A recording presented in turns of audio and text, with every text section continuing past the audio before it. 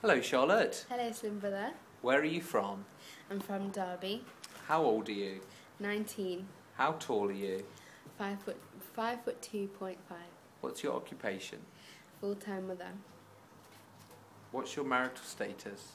in a relationship. Do you have any children? Yes, one aged 11 months. Where do you shop for food? Usually Tesco. What's your favourite food? Again, I don't really have one, but I love my Ribena, so. What did you eat yesterday?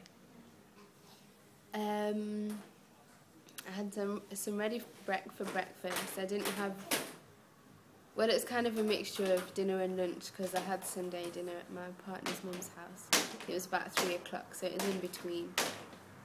What did you have for your tea? Nothing. Did you have any snacks in the evening? I had an Oreo biscuit. to help you sleep, Charlotte. Yes. What diets have you tried before? Um, quite a few. Um, I've even tried smoothie diets and stuff, done Weight Watchers, but none of them have been quite as effective as this one. Why do you need Slim Brothers' help right now?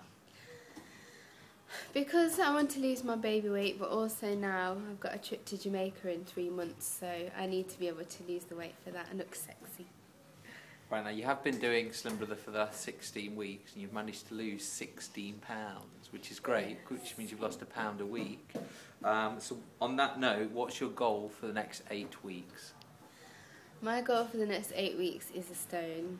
I think that I could have done a lot better with the other courses before, but now I'm going to be really committed because I need to do it anyway. So, a, a stone.